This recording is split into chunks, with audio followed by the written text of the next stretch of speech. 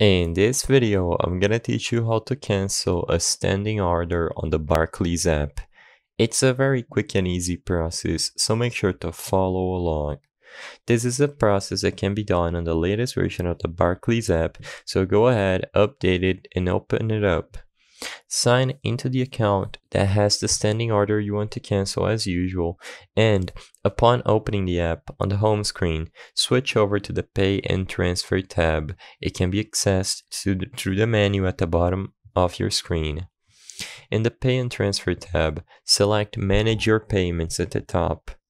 Immediately, it's going to give you the option to choose between one of your currently signed into accounts. Choose the account that has the standing order you want to cancel, and upon accessing its page, you should be able to see all the currently active standing orders. Select one by clicking anywhere beside it and you will open up its details. At the bottom, as you can see, Upon checking all the details, you have the delete and or edit button. Simply tap delete if you wish to completely delete the standing order and the changes will be immediately saved.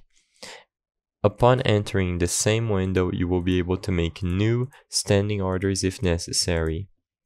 I hope I was able to help you on how to cancel a standing order on the Barclays app. If this video helped you, please be sure to leave a like and subscribe for more quick and easy tips. Thank you for watching.